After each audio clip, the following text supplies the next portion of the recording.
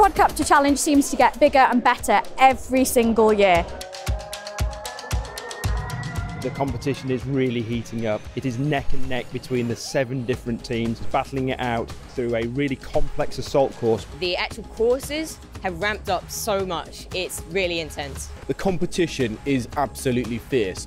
I've never really done anything like programming or anything like that, so really interesting to see what you can actually do if you really put your mind to it. We get to experience things that we've never experienced in our, in our lives. It's what we do every day in industry, and it's all really trying to bring together and inspire the next generation to become engineers and really fuel the industry for the future.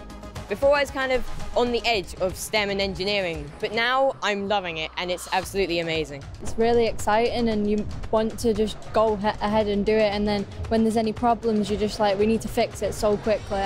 They are learning how to work as a team, manage a project, problem solve and think on their feet. It's been really upbeat, it's exciting, it's challenging. They take the textbook learning they get and apply that to everyday situations and problems that are facing our society in, in everything we do. Without this high profile event, I as a school teacher would never be able to inspire the children into doing this kind of subjects.